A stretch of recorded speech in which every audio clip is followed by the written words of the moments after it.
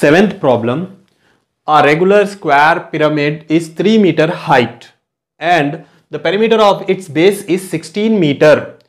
Find the volume of the pyramid. So we have to find the volume.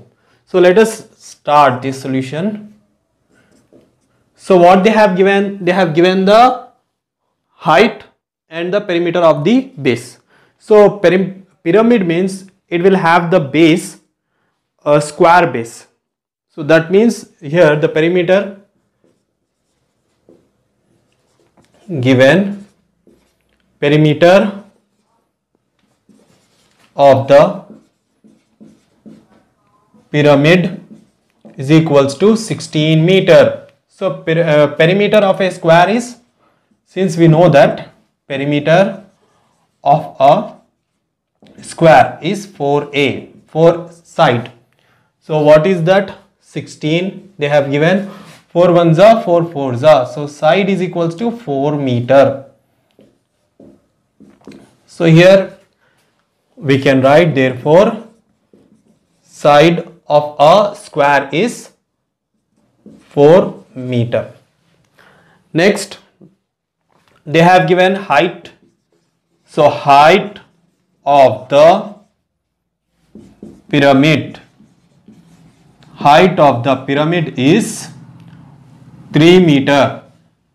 Next we have to find the volume of the pyramid. So volume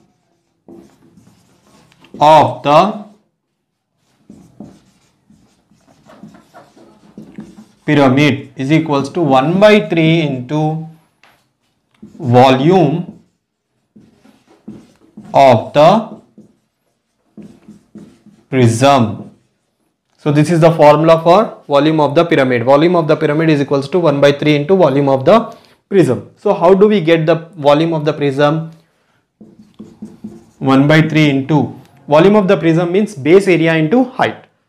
So base area into height. So 1 by 3 into base area means area of the square so area of the square is side into side. So what is the side? 4 into 4 into height. Height is 3 meter. So 3, 3 cancel. 4, 4 is a 16 meter. Cubic meter. Since it is a volume, so that's why we have to write the cubic meter.